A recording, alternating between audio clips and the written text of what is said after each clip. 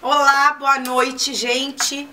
Mais uma quarta-feira estamos aqui para apresentar esse programa maravilhoso e hoje estou eu aqui com nada mais, nada menos, Dr. Nelson Júcio, um homem polêmico, crítico, né, Nelson? Muito, muito. E político. E dizem por aí que também sou chato.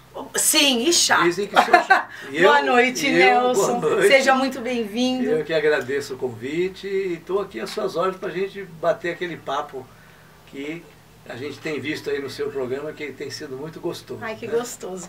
Então eu quero aproveitar aqui em público agradecer o Nelson, porque se eu estou aqui foi porque Nelson me convidou para uma entrevista e o Nelsinho, é, o Nelsinho acabou é, me convidando para apresentar esse programa. Então eu te devo mais essa, né, meu Imagina, amigo? Imagina, foi um E- prazer enorme. E eu, eu agradeço você ter aceito esse convite. Eu que agradeço o convite e desejo todo o sucesso do mundo para você. E eu, como já sou prata da casa aqui, né? É. é sempre um prazer estar aqui de volta, entendeu? E estar com pessoas amigas, né? É isso mesmo, Nelson. Me fala uma coisa. Você gosta muito de falar de Guarulhos antes, Guarulhos hoje. Você nasceu em Guarulhos, né? Não. Não, Não nasci nasceu? em Guarulhos. Ah, Eu nasci na capital, no bairro do Belém. né? Olha. E vim para cá praticamente com dois anos de idade, depois de morar no Jaguaré e na Penha, parece. Aí da Penha que viemos para Guarulhos. Somos conterrâneos. É, viemos para Guarulhos morar ali no Jardim Dourado. Acho Olha, que foi um dos primeiros loteamentos de Guarulhos, Jardim Dourado. Mas na verdade, se você veio tão cedo como eu vim aos É, oito anos, somos guarulhenses. Ah, né? sim, hoje eu tenho Guarulhos no meu coração batendo, mas muito forte. É muito forte. legal isso. Nelson, e me diz uma coisa, você é advogado, Sim. que área que você milita? Olha, eu, Ou quais as áreas, É, né? eu Porque costumo hoje. dizer que eu sou clínico geral, né? Ah, a gente isso. faz um pouquinho de tudo, o que aparece, logicamente. O a gente é indicado para o trabalho, mas eu não sou muito afeito ao crime. É, porque eu aprendi na faculdade que o crime não compensa. Então eu não sou muito a- afeito ao a, crime. a- a matéria Mas criminal faço, é apaixonante. Mas faço Faz. também, faço, mas muito pouco. É, né? Que legal. E me fala uma coisa, é, quantos anos você está advogando? Bom, eu me anos? formei em 85, acho que já faz Ah, mais já de bastante 30, tempo. né? É um advogado muito experiente, então. Não, acho que ainda estou aprendendo muito. Advogado, Muito experiente aprender, e Porque as leis estão sempre mudando, né? É, mas, é, mas estamos sempre nos atualizando. Ah, sim. Eu estou sempre te vendo lá na, na UAB, em palestra, querendo saber É. sempre mais, então é isso, É, não deixa de ser uma. logicamente, se atualizar, Atualizar, estudar, sim, né? sim, e sim, se aperfeiçoar, né? Com certeza. E me diz uma coisa, eu, eu sempre que converso com você, nós dois acabamos falando sobre política. É, não tem jeito, né? Não tem jeito. Sempre, sempre aca- nós começamos falando da água e terminamos no, no, no- no poder legislativo. Exatamente. E nós que já fomos candidatos. Sim, né? sim. E é isso que eu ia te falar. Você foi candidato em que ano? Candidato a vereador ele foi, Então, né? eu fui candidato a vereador em 2012 pelo PTB, né? Pelo PTB. PTB, o partido muito, é, com uma história muito bonita, Sim, né? conheci. E partido trabalhista, né? Sim. Por isso que eu sou muito, assim, foco muito a questão de que a, até pa- parafraseando o ex-presidente Ronald Reagan dos Estados Unidos, ele, a- ele fala que a melhor ação social é o trabalho. Então eu estou no PTB por causa do trabalho. Então eu acho que a gente tem que fomentar o trabalho e É. não fazer essa, essa política velha que é utilizada aí. Você sabe Como que eu debato é. muito com você É, sim, sim. de fazer filantropia, caridade para criar notoriedade, criar é, ser conhecido, se mostrar bonzinho para poder É então polêmico. pra É poder, polêmico. pra poder então ganhar voto do, É Zé polêmico, Polvinho, é. né? Porque Mas me diz esse uma povo coisa. aí que lamentavelmente é precisa ter mais conscientização, né? De que ele tem que votar na pessoa certa. Então, eu, eu- eu- você fala muito, tem falado muito no Facebook é a respeito de reforma política. E, e reforma política é uma coisa que interessa não só a mim, a você, mas como toda a população. Sem dúvida. Me diz uma coisa, o que que você, por- o- qual é essa reforma que você entende que não pode deixar de existir? Então, desde que eu me conheço por gente e na história do nosso país e em, em relação até ao partido que eu, que eu represento, houve grandes eh, ícones do meu partido Ah.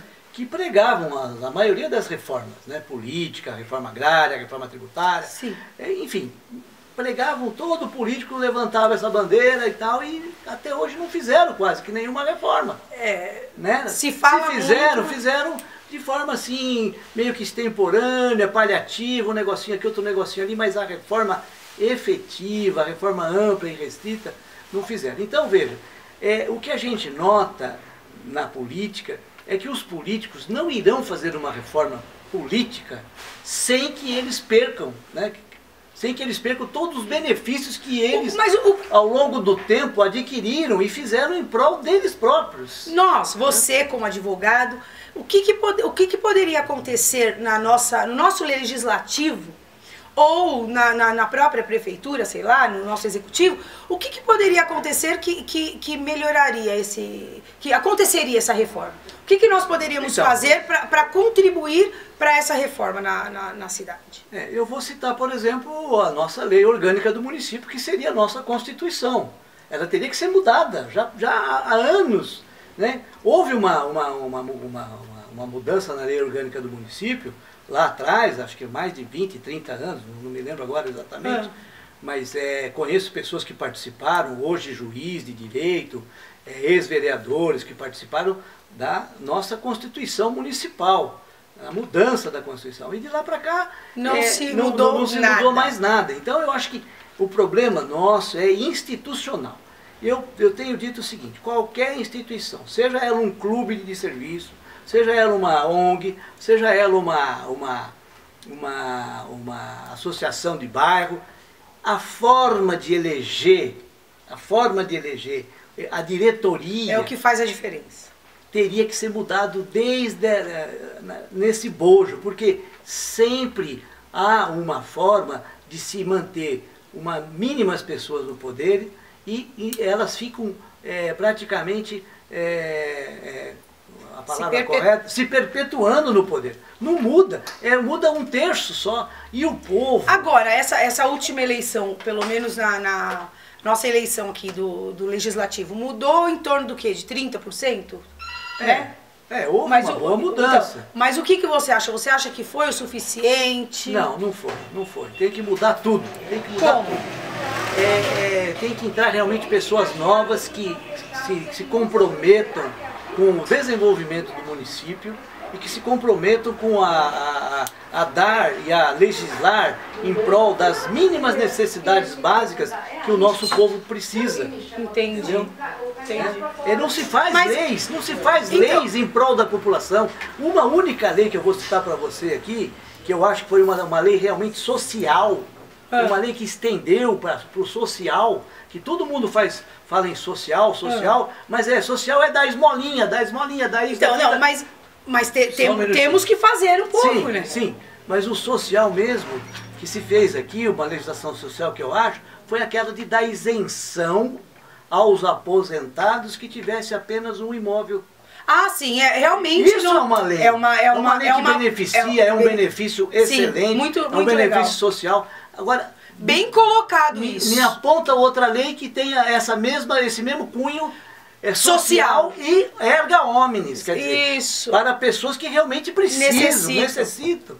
Porque tem que comprovar a idade. E essa então, lei, quer dizer, não tem como lei- ninguém É, fraudar. e essa lei, ela é, é, foi, é, foi é, proposta e passou aqui em Guarulhos por uma pessoa que era é, é do meu partido, né, que é o Valdomiro Ramos. Sim. É, apesar também de não concordar muita, com muitas coisas que ele.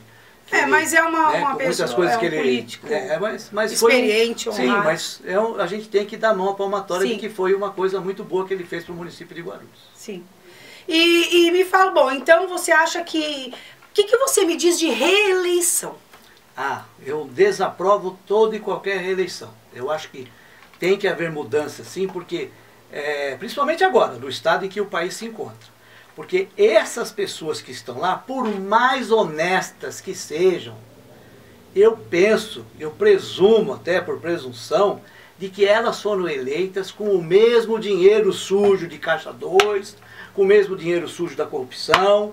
Então, eu acho que tem que tirar todos eles de lá, colocar pessoas novas, para que a, a, realmente renove a, todos os políticos que estão lá e, pessoas, e não se crie vício. Isso, não, não, não é, dá tempo de criar é, o vício. Isso, é, não dê tempo para que aqueles que forem reeleitos dominar os, que, os novos, porque sim, é o que sim, acontece. Sim, sim, sim. Eu, eu penso assim. É. Agora, me fala uma coisa. O que, que você acha, inclusive eu, eu até fiz um, um, Tivemos um embate aí a, no Facebook a respeito disso. Hum. O que, que você acha, por exemplo, o vereador acabou de, de, de ser eleito. Hum. E, ou seja, nós estamos em maio, é, janeiro, fevereiro, março, abril, maio. Ele está cinco meses como vereador. Nunca foi eleito, às vezes, ou até que foi, mas está cinco meses vereador. E já está lançando sua campanha para deputado. Absurdo. O que, que você acha disso? Acho absurdo. Acho que o camarada ele tem, ele tem no exercício da função, ele tem que cumprir o exercício da função do início votado. ao fim. Eu, eu até desaprovo, e, e, também já contestei no Facebook, pessoas que se candidatam a vereador e depois vão pegar cargo de secretário, cargo de disso ou daquilo. É, de, de Quem chefe. confiou em você, é, confiou em você. E eles foram eleitos para ser vereador, para trabalhar pelo povo, né? como legislador e não como secretário, porque eu acho que tem que ser utilizado é. no poder público os funcionários de carreira, os funcionários que estão ali anos a fio, ali trabalhando, lutando, tem que dar incentivo para os funcionários, para essas pessoas também, essas pessoas também, elas têm que ter o, o, o, o ímpeto do civismo, sabe? De realmente fazer pela cidade, fazer pela população. E não como muitos também que estão aí, é, que só fica esperando a, a aposentadoria. É, eu, eu acho que, que é o que você falou. Temos que nos eleger para aquele Sim. cargo, então vamos trabalhar